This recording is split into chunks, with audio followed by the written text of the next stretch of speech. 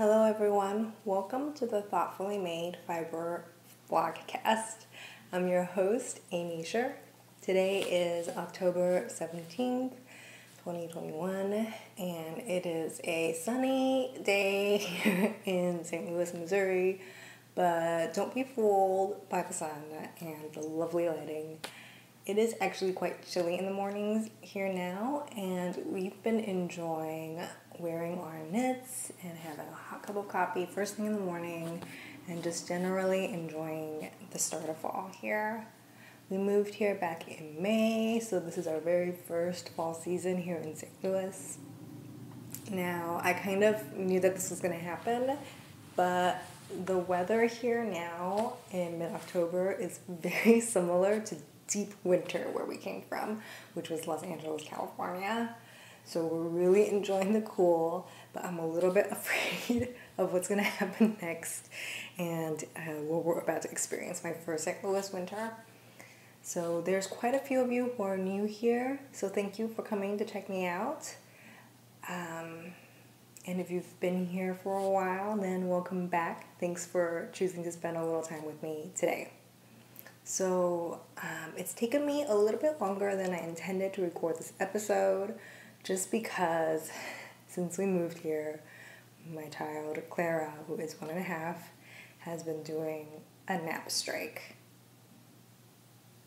And for those of you who are not parents, a nap strike is when a child just flatly refuses to nap and cries and cries and cries no matter how you try to soothe them and then they're tired and cranky all throughout the rest of the day and it's just been really overwhelming and a little bit hard to find like a quiet couple minutes to sit down with you and film.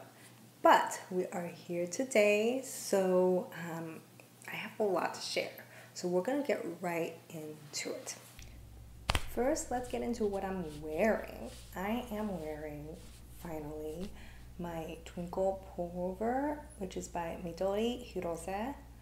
Uh, I knit this. This was my moving sweater, and I've shown it here before, so uh, I won't go into great detail about it but it is uh, knit from Daruma Genmou, which is a really interesting merino yarn. Um, the bulk of it is kind of a um, unspun strand of merino, but then it's plied with like a tightly spun, almost thread like strand of merino, and that gives it structure while still retaining that kind of like fluffy and light um, unspun quality. So I think it's a great yarn. It's pretty budget friendly. I would say it's on like the upper end of um, the low budget range I would consider. So maybe like medium, kind of meet early medium. So here is the full sweater. I've talked about it before, but I love the shaping. It has like an underarm raglan shaping after all the yoke is completed. So that is what I'm wearing today. I knit it over the course of three or four weeks while we were moving, so I think I'll always remember this as my moving sweater. I don't know if you do that, but I do. Um, many of my knits have, oh, excuse me, many of my knits have strong memories attached, whether good or bad. So uh, this one will always feel like a transitional knit for me because it was knit during such a time of great transition in my life. So that is the Midori Hirose sweater. Um, I hope you'll try it out. It's one of my favorite patterns of all time. I just think the color work speaks for itself. Like it's so good. And then the little raglan shaping just makes it fit so wonderfully and it's like the perfect little box size, boxy transitional sweater, and it's really easy to style. You can see that it hits just at the top of my hip here. And it's easy to style and easy to wear with dresses. Like it's not too long to wear over dresses. And I think it's just perfect. All right, let's move on. What do I have here? Finished objects. Let's do that. I have such a bunch of goodies to show you. First, let me show my finished second pair of the dots and dashes socks. Look at it. So the dots and dashes socks were originally knit with Sunday Fiber Co.'s um, Barefoot Organic. And I've shown that one in quite a few episodes already. So, um, or actually maybe just the last episode because I haven't been good about filming. So I have shown it before, but I wanted to show this new pair I knit, which I knit from Knit, Knit Picks Capretta Superwash. Um, they kindly sent me this yarn to work with and it knits up at like a standard standard um, 32 stitches per 8 inches for me. Sorry per 4 inches per 4 inches um, which Sunday Fiber Co.'s Barefoot Organic didn't. Um, that one is like a little squishier a little plumper. So that one I knit the socks in like four different sizes on the pattern. And I have to knit the smallest size which is like 54 stitches I want to say. Uh, 52 stitches 52 but on this pair because it comes at a more standard gauge I just sized up and knit the next one up which is my standard like 56 stitches situation um, I knit all my socks on US 1.5 uh, what else is there to say about these? Oh, these are a cashmere blend. Let me show. It is so soft. And I just know, and I said this before, I just know that it's going to pill because all cashmere blend socks are. And I would highly, highly recommend um, not washing this in the machine, even though it does say super wash. I think all cashmere blends just deserve to be washed um, in the sink very gently, soaking, no agitation. Uh, maybe one of these days I'll make a tutorial on how I wash my socks. I feel like it's almost like too simple and too easy to make a tutorial or a video about that. But then I think it's really interesting to watch all the different ways that people take care of their nets. So maybe that could be something we could get into, but that's my first finished object. Okay. All right, let's move on.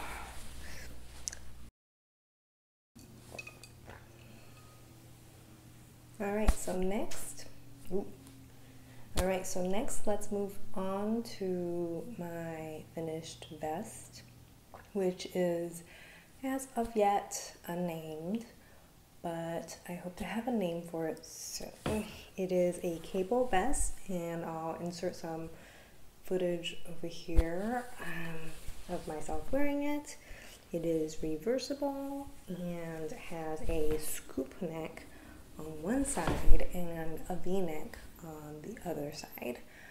Um, it is constructed kind of interestingly.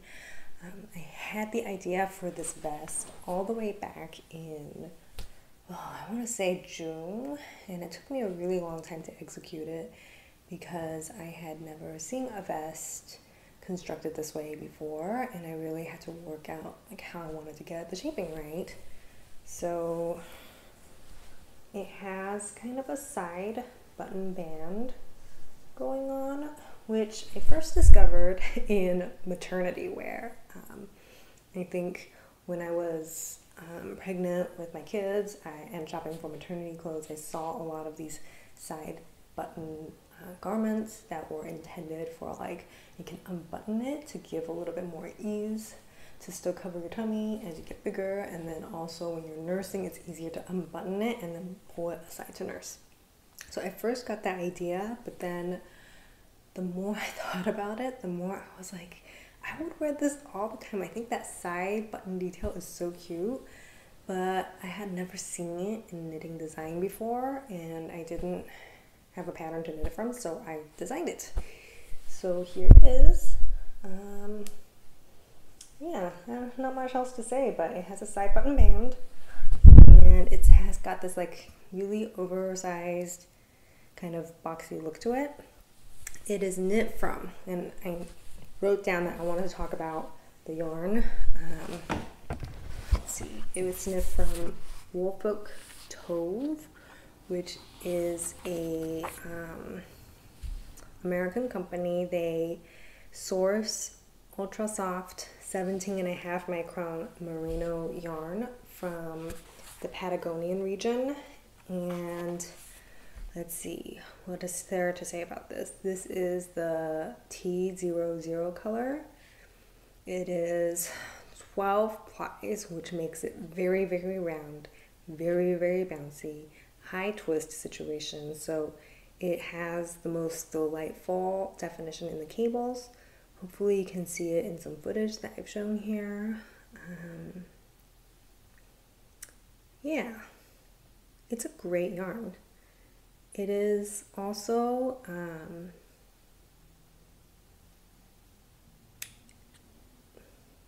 this is a great yarn. It is also Aran weight, so it knits up very quickly, which um, I think when I'm knitting a cable garment, I don't want to spend forever on it because I'm quite a slow cable knitter. So it was really nice to have one that was relatively quick to work. So that is knit up on, for me, it is I think size 7 and 9 needles. And this little baby will be going to test very soon, like within the next week. So if you're interested in test knitting for me on this, I'd love to see, hear from you about it. Um, I will link to my newsletter below because that is like the most easy and guarantee way to see when I have a test knit out um, before I post it to Instagram or anywhere anywhere else. I always post my test knits to my newsletter first. So if you'd like to see future test calls, then please do check out my newsletter. And I also hope that you'll enjoy some of the other content there, which is like little snippets of my life, things I'm baking, just like general nice things about knitting and making. It's very much about my making practice. So I'll put that down below. You can sign up if you want or not. Um, but I'm very excited about this recipe. Let me come and adjust this camera. Okay, so my very favorite feature of this is surprisingly not the side button bands, which was like the entire concept, but it is this V-neck that is reversible. It's a scoop neck on the back. And I just think, if I do say so myself, that it's quite killer. I really, really, really, really, really, really, really love it. Um, I've always wanted a cable vest and now I have the cable vest of my dreams. So that is my second finished object. All right, one more, one more. We have one more finished object. Oh my goodness, where is it? Ready to go. Oh, here it is. Next up, I have a bit of hand, spin hand spinning. This is a bit of DK weight sock yarn that I have spun up. Uh, from fiber, uh, mill, blend, mill blend fiber from Inglenook Fibers. I've talked about them a few times here before, but they make the most lovely hand-dyed fibers for hand spinning. Uh, all their hand-dyed colors are incredible. This is not that. This is one of their mill blend yarns or mill blend fibers. It is a blend of Shetland, mostly Shetland, with a little bit of Gotland for warmth and some uh, bio nylon fiber. So bio nylon is a fiber that's apparently very similar to regular nylon, except that it will biodegrade a little bit faster. So it'll still lend strength to the sock fiber, but hopefully be a little bit gentler on the planet. The uh, fiber itself is also processed with recycled wastewater. So it's just generally like a really lovely Shetland, very woolly um, sock fiber that's been more sustainably created. And I think I talked about this in the last episode, but I'm all about trying to find ways to be more sustainable with sock knitting because on the one hand, if we use a non-superwash yarn but and no nylon and it just falls apart, then that's a waste of fiber and like the water that went into processing that fiber, the water that went into dyeing that fiber, that's a waste. but then I don't want to keep continuing to put like microplastics in the ocean with endless nylon. So this seems like a pretty decent alternative. Like not only is it a bio nylon, it also was processed with less new water. It's all wastewater. So I'm gonna come up here and show a little bit of close up. I spun this in traditional three ply. I just love, love, love, love that it's like a moody, gothy, like intense color with like bits of hot pink. Bits of hot pink shooting through it. How clever is that? Um, so I spun this pretty tightly, traditional three ply. Um, I only started spinning during the pandemic, like on the wheels during the pandemic last October. So it's been a year now. And like, everything I've spun is horribly undertwisted. But for the first time this one, I feel like I twisted it just right. So I'm really excited to be knitting that up. Um, I'm like desperately looking in my schedule for places where I could knit, not for my design work, but just like for myself. And I hope I will be able to knit up some vanilla or ribbed socks with these. Um, and then maybe even like write up a little pattern for DK weight vanilla socks because I think that patterns like that are always helpful in every weight. So uh, yeah, we'll see where that goes, but that's my third and final finished object. All right, I have a few works in progress. So let me go ahead and show those. The first is more hand. I actually have some um, spinning going on, but I don't want to show that today just because it's like too much stuff. But um, I've been knitting up a little sweater for my child Clara, who is one and a half, the one who doesn't nap. uh, out of leftover hand spun scraps. Now, this is all merino. Some of them have a little nylon in them because some of them were designed for sock knitting. Uh, these are all various leftovers from mittens, socks, things like that I have knit before. And I'm gonna go ahead and come over and show you a close up now. How cute is that? That is pretty dang cute, isn't it? So it's like kind of chaotic because of all the colors in it. But basically this creamy color here, this blue here, this yellow, and then the same cream again were all DK weight, but then the pink was kind of like a fingering weight. So I held the pink double and then everything else single. And I'm kind of winging the math.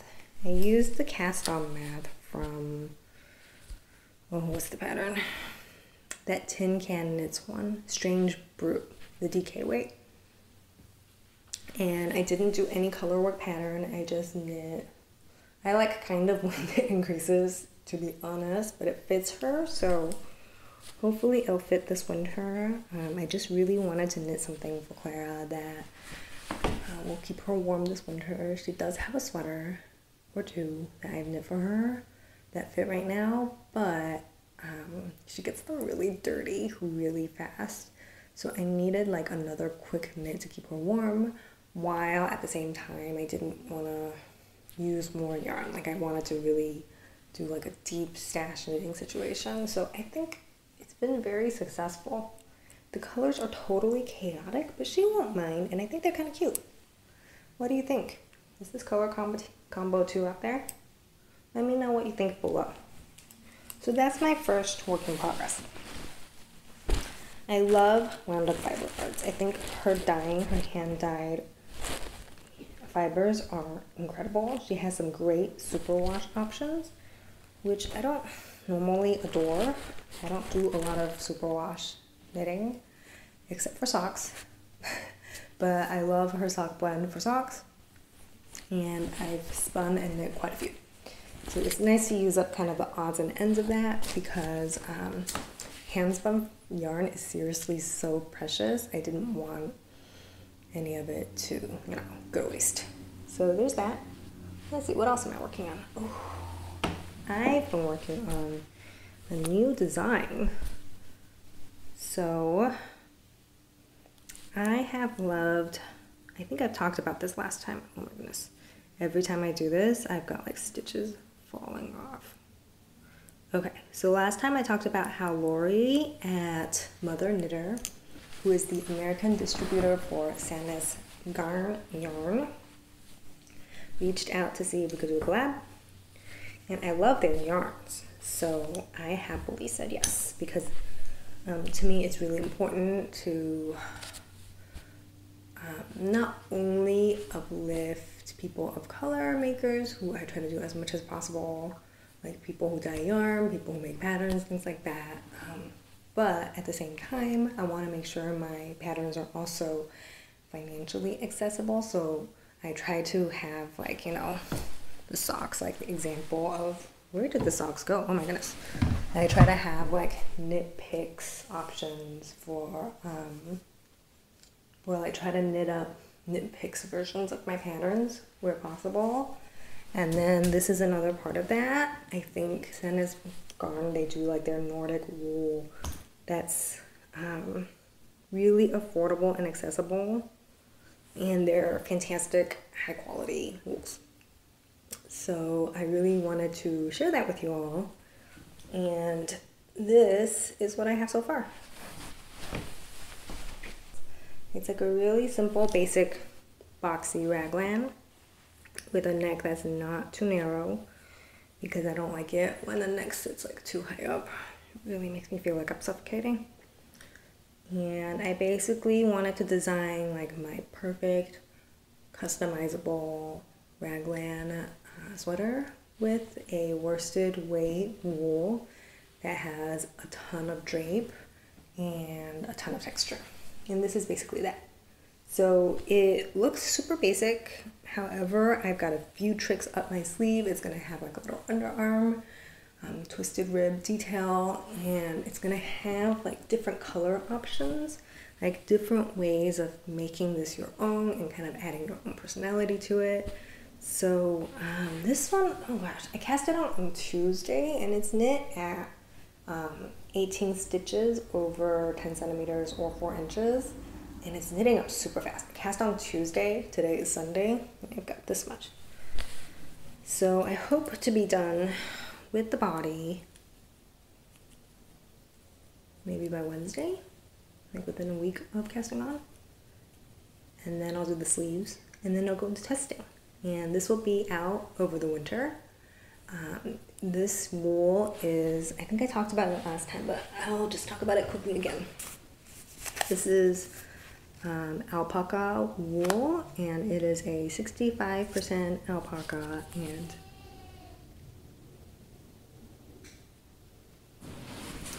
So I talked about the wool last time, but I'll just quickly go over it again. This is alpaca wool by Sandnes Garn.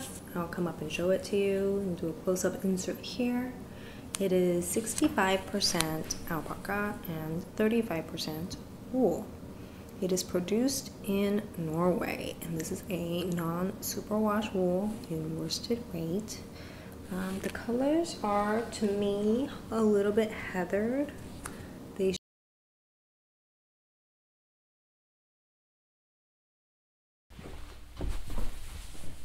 Okay, we're back. My camera overheated, which I didn't know could happen. And then when I came back to film, there was a Cheerio on my chair where I had been sitting here this whole time. If you've ever been a parent of a five year old or two year old, then you know. Cheerios are found everywhere. Okay, where was I?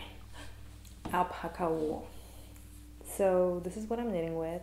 Um, 65% alpaca, 35% wool. Um, the alpaca content gives it so much drape. Um, which I find is missing in my wardrobe, like a really drapey and comfortable and super warm sweater.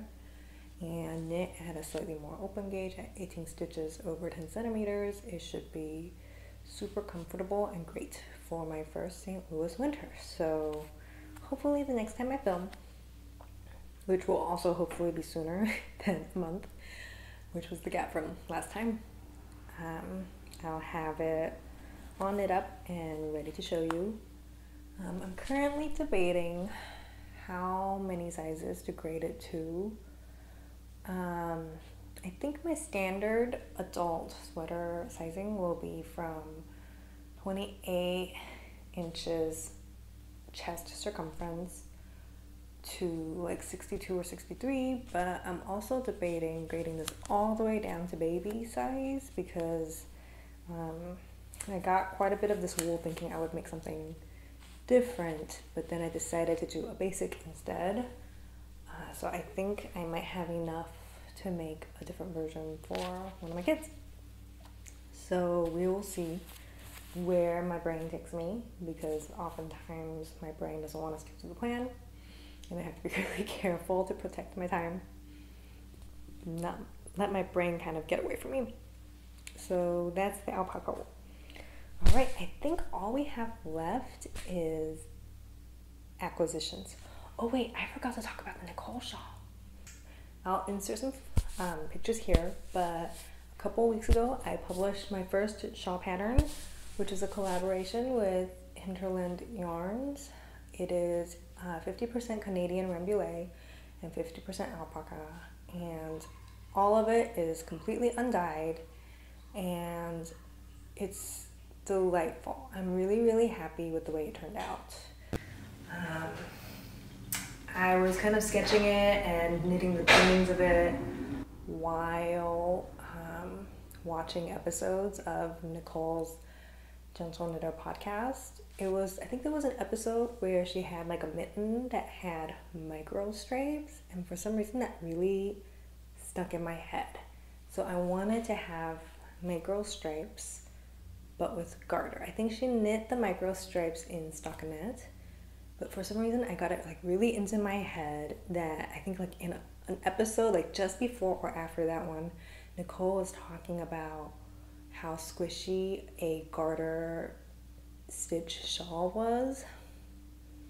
So I got it somehow in my head that I really wanted a garter micro stripe shawl but then I wanted to break it up with some lacy elements, and that's exactly what I come up with. So um, the sample is not with me, but I, I'm gonna insert the pictures here and then I'll put all the information, including yarn kits below. Um, Nicole very generously allowed me to name the shawl after her, and I'm glad that she seems to like it and seems to think that it is a uh, fitting pattern for the name. Uh, that's always the challenge when you're inspired by someone and you create something inspired by them. One is never quite sure if it's going to actually be them or be like your idea of them. But Nicole seems to like it, and um, I thought it was fitting to have a shawl dedicated to her because of its Canadian natural undyed yarn origins. It feels like it's very much like in the theme of her podcast. So um, if you like it, check it out below. I've got all the links to the yarn kit from Hinterland Yarns as well as the pattern below. Um, everything I talk about in my episodes is always in the box, so give it a look. All right, we have that's a toilet. That's my kid. Okay, I think it might be quiet enough now for me to talk about my acquisitions. this has been a very challenging, like I said earlier in the episode, it's very challenging to film these days. So this is, prepare yourselves, this is knitted in yarn, which I hope you've heard of. But if not, oh, in for a treat. In yarn is uh, created by Honer och Eir. I think that's how you pronounce their account name. Um, I'll link them below, but I purchased this in the August collection, um, which they released uh, a small curated collection of colors and fibers uh, monthly, and they're non repeatable because the fibers are very specific. Like each month's fibers is going to be a totally different blend, and each color also has different, like from the other colors, fibers in it. They're a small Swedish mill and they just, yeah, they work with small farmers and small batches of wool to create these really interesting and unique yarns. So um, here it is.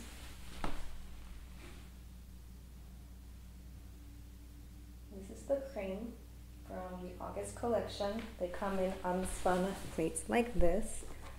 And I'm gonna read the copy. Okay, I'm trying to find the description for this color here. Okay, according to their Instagram, this one has a base of natural fine white wool with a little bit of warm yellow on a gray Gotland base with a little bit of natural brown, which is fine wool. Look at that. I originally had some plans for it, but then those plans for design changed. As they do, sometimes design ideas don't work out, or then you have to like do it with a different yarn. Like there's all kinds of things that happen. So I'm still trying to figure out. So distracted by this smell. I'm trying to work out what to make with this though. Um, I have a sweater quantity of this one from the August collection, and it's just the most perfect neutral. And I had a feeling it would be like really lovely against my skin tone and my hair for like a wintry garment. Maybe I will make like a that same Sandnes Garns raglan, but in this instead. We'll see, but it's lovely, lovely, and I love it. Okay, my last acquisitions is this incredible pair of sock yarns. These I received from Darci of Darci Does It. Um, I will link her podcast as well as the website for her fiber box below. I met up with Darci to hang out a little bit. So we hung out for a little bit the other day and she brought me the most beautiful yarn. Um, this is from her Fiber In Color box, which is a monthly um, kind of like a club. There's no subscription required. It just opens once a month and then you can order it for the next month. Uh, and this was from, I want to say September or maybe August. Uh, this is dyed by Treehouse Knits in Austin, Texas. Um, this colorway is called Land of the Living, and this is a two ply fingering with merino wool and 20% nylon. And it is just so great. I love like the pink and purple, like kind of the purple gray tones. Um, and like this really red bit here. Oh, so delicious. So normally I like to knit socks with sock yarn but in the case of this one, I just really don't know what to do with it. Like, it's so beautiful. It feels like it would be wasted if I just knit socks because I have two of them. And there's like enough yardage for maybe a t-shirt on my size. I cannot figure out what I want. but either case, it is beautiful. Um, every month, Darci curates notions and yarns from dyers of color and makers of color and um, every month. The colors are amazing.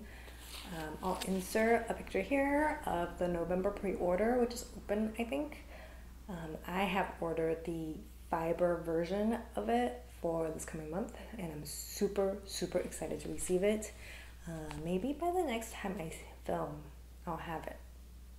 We'll see. But I have so much spinning to show you coming up. It's very exciting. Um, I think that's all my acquisitions. I've been holding off on some acquisitions just because I can't talk about the projects associated with them yet. but I promise I will get to them. But uh, for now, these are the ones that I have to show you, and that's all I have for today. Um, it's fall break here in my kid's school. She is in virtual school, so I must go now because I promised to take her to the pumpkin patch today, and that's what we're gonna do. Um, I'm gonna wear my little Midori Hirose sweater and just try to enjoy this lovely, crisp, not that crisp now, it's like 75 degrees outside, crispy-ish fall weather and try to get into the spirit with some pumpkins. Um, I hope to talk to you soon. I have so many things coming up that I'd like to talk to you about. So I'm going to try to film again in about two or three weeks. But I said that last time, and then it took me an entire month to get around to filming this one. So um, stick around, and I hope you have a wonderful day.